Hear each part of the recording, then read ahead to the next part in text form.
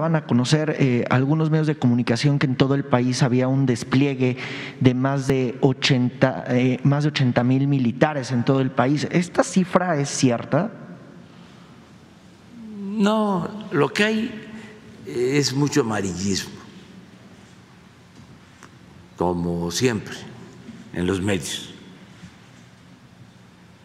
Y a veces eh, le suben al sensacionalismo. Hace como un mes que hubieron las quemas de los carros, fue nota internacional, hasta el New York Times, Washington Post,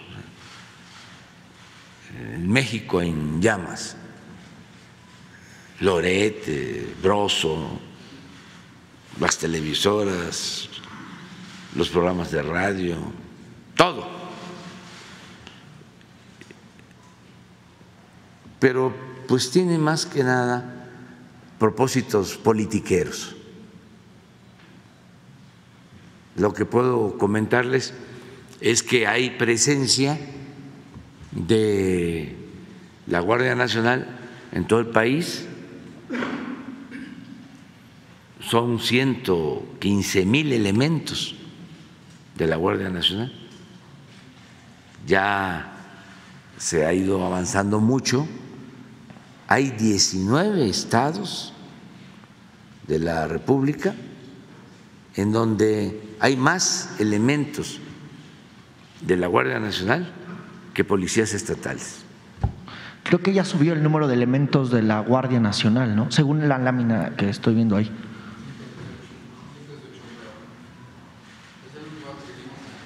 105 a 118 en total, pero 105 operativos. Esto nunca se había visto. Lo más que tuvo ese organismo que se creó con Cedillo, que fue la Policía Federal, fueron 40 mil elementos y se echó a perder esa corporación. De ahí salieron todos los que están ahora en la cárcel o acusados de tortura y de violación de derechos humanos, de la llamada Policía Federal. Y en su mejor momento cuantitativamente llegó a tener 40 mil elementos. Ahora, la Guardia Nacional, 118 mil elementos capacitados, eh, formados. Y esto es lo que queremos, porque no voy a quitar el dedo del renglón, que una vez que se concluya, porque va a aumentar a cerca de 150 mil elementos. Ahora tenemos terminados como 260 cuarteles, porque es una estrategia eh, territorial, no es concentrar a todos estos elementos como se hacía en la Policía Federal en Iztapalapa, dos, tres cuarteles. Y eh, se agravaba la situación en Zacatecas, allá van los de la Policía Federal, a acampar en eh, lugares eh, inadecuados, a la intemperie, en hoteles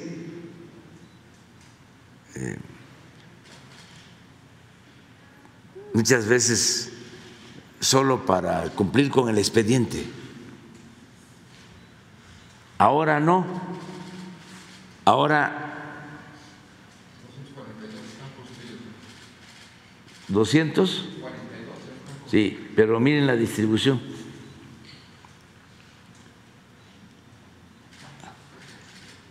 Donde tenemos más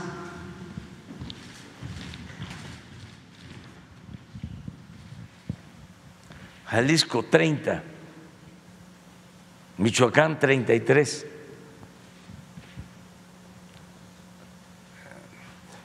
Y son 120 elementos por cuartel. Todo esto lo hemos logrado con el apoyo de la Secretaría de la Defensa, que han construido los cuarteles. Es una hectárea, agradecemos mucho a las autoridades municipales, incluso a particulares que aportan los terrenos.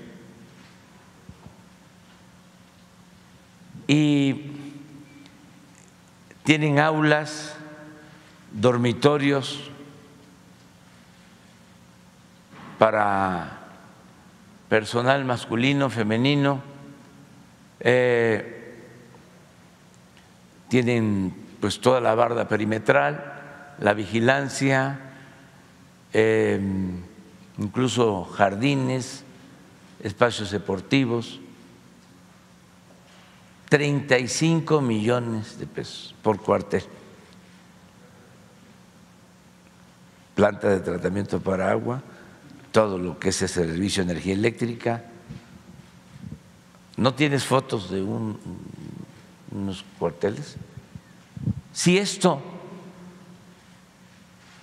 se eh, hiciera con el sistema corrupto de antes, no, pues no cobran 35 millones, 150, 200, y no los terminan en tres, cuatro, seis meses.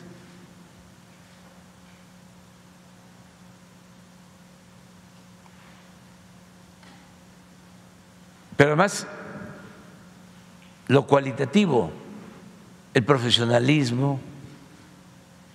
Entonces, esta institución encargada de la seguridad de los mexicanos en todo el país, porque eh, son 242, pero van a llegar a 594 instalaciones antes de que terminemos. de acuerdo a este plan. Bueno, esta institución de cerca de 150 mil elementos, con cuarteles distribuidos territorialmente, como se requiere, queremos que quede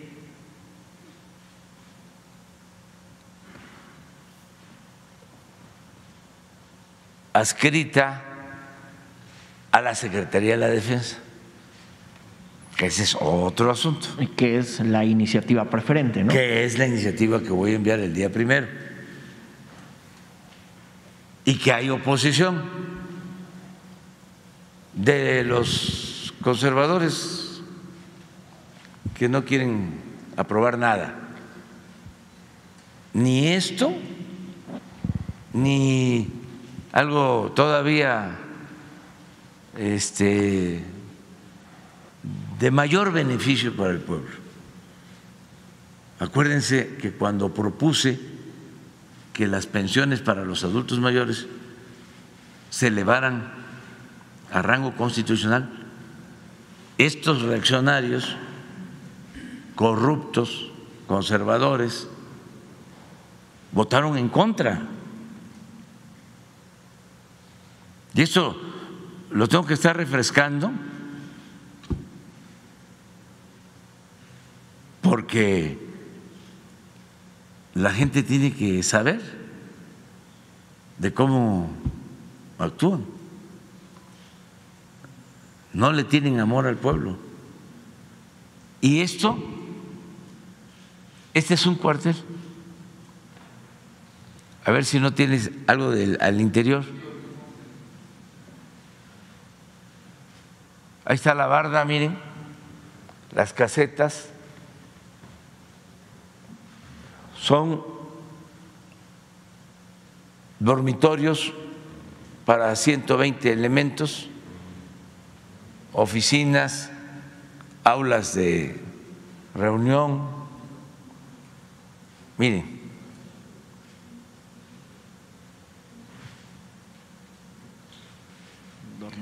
hoy sale en la encuesta del Universal que el 80% de la población, lo que ya dimos a conocer aquí de la encuesta del INEGI, está de acuerdo en que la Guardia Nacional dependa de la Secretaría de la Defensa. 80%. Y eso no lo quieren tomar en cuenta los legisladores ni los expertos, porque pues ellos tienen una visión distinta. Nosotros tenemos la obligación de decir qué es lo que conviene. Le pediría entonces a los, a los legisladores que revisaran esa encuesta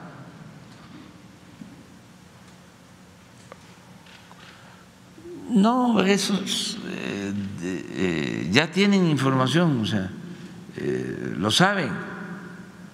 Es como cuando se votó la reforma eléctrica, que no sabían de que oponiéndose como lo hicieron, estaban afectando a la Comisión Federal de Electricidad, una empresa pública, y favoreciendo a Iberdrola, una empresa eléctrica extranjera. Pues claro que lo sabían.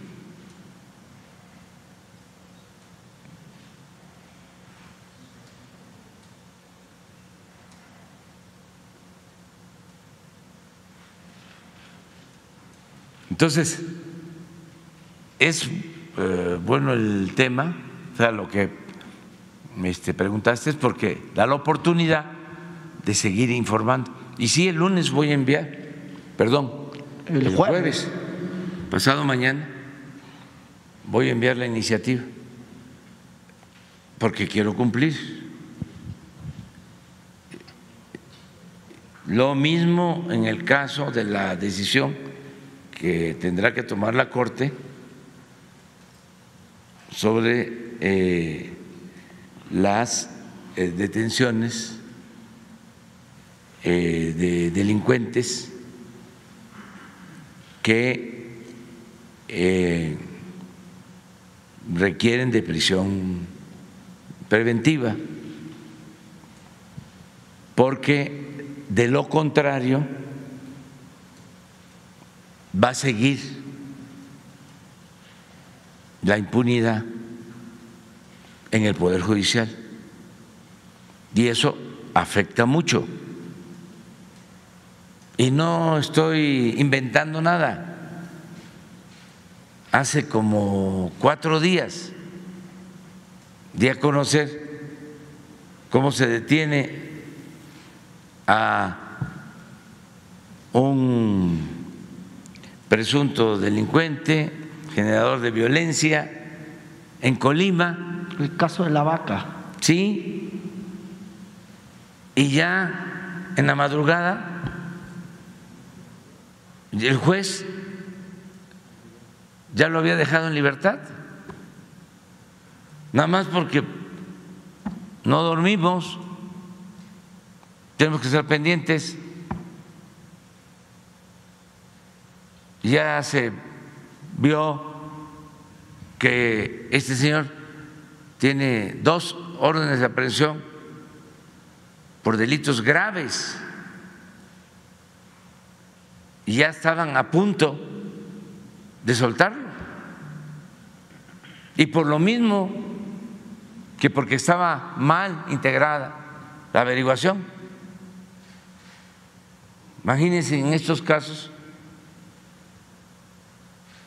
lo que sucedería. Los jueces liberarían a diestra y siniestra, si ya lo hacen se agravaría el problema. Si el Poder Judicial estuviese moralizado,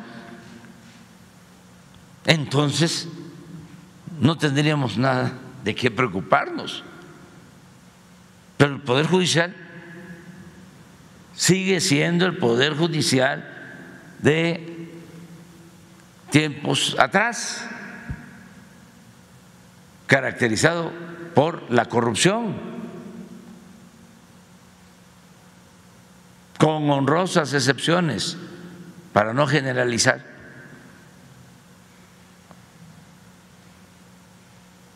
Un día voy a dar a conocer, es más, mañana, todos los casos que tenemos así. Porque van a resolver sobre este asunto y a lo mejor pues los ministros están hasta arriba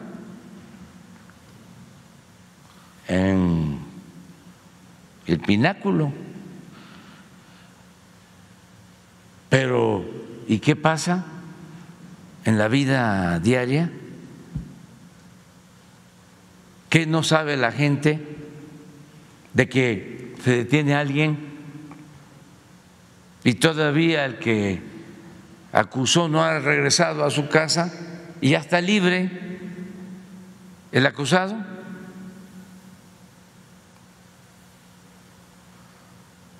¿Vamos a seguir así?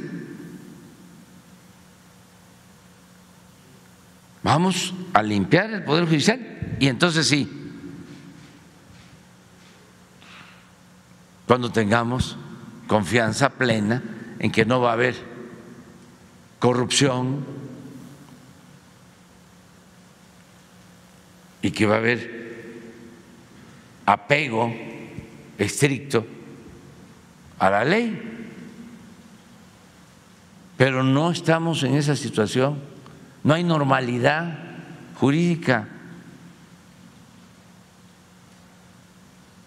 Todavía hace falta seguir limpiando de corrupción el gobierno en su conjunto, el ejecutivo, pero el judicial está intacto. Jueces que ni siquiera les importa el pueblo. No existe el pueblo para ellos. Son jueces para defender intereses de grupos de intereses creados. Todos estos que defienden a las empresas extranjeras. Todo ese andamiaje jurídico que se creó para defender las privatizaciones. Ahí está intacto. Hace falta seguir avanzando. Y nosotros no podemos quedarnos callados en estos casos, porque imagínense todo el esfuerzo que se hace, el riesgo para servidores públicos que son amenazados. En este asunto de la libertad de este presunto delincuente, hay el asesinato de servidores públicos. En Tamaulipas. Sí, entonces son cuestiones muy graves, no nos podemos quedar callados. Ah, este, la academia, las teorías más avanzadas de políticas públicas nos orientan a que se modernice el sistema judicial, garantizando más libertades. Pues sí, siempre y cuando tengamos verdaderos, auténticos jueces, incorruptibles. Si no, pues es el cuento de nunca acabar.